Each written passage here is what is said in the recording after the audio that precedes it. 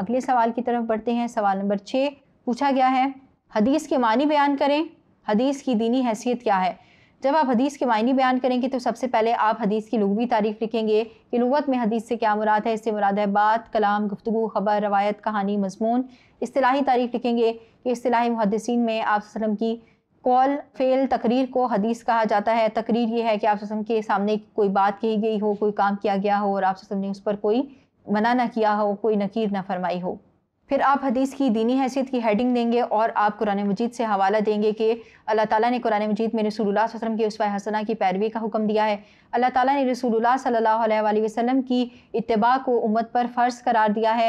आप सल्लल्लाहु अलैहि वसल्लम जो कुछ दें, उसको ले लें, जिस चीज़ से मना करें, उससे बाज आ जाएँ। इसके मतलब भी अल्लाह ताला ने कुरान मजीद में आयत नाजिल फरमाई। फिर आप सल्लल्लाहु अलैहि वसल्लम की इतबा मुसलमानों पर फ़र्ज़ की गई है।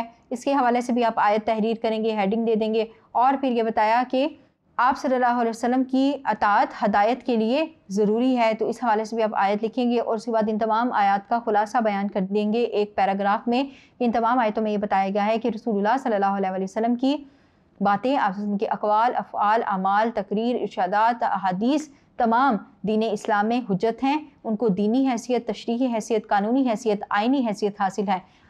ऐसा नहीं हो सकता कि कुरान मजीद पर ईमान लाया जाए, लेकिन रसूलुल्लाह वसल्लम की अतात को छोड़ दिया जाए। अल्लाह ताला ने खुद कुरान मजीद में रसूलुल्लाह वसल्लम की अतात का हुक्म दिया है। आप वसल्लम की बातों को दीनी हैसियत करार दिया है।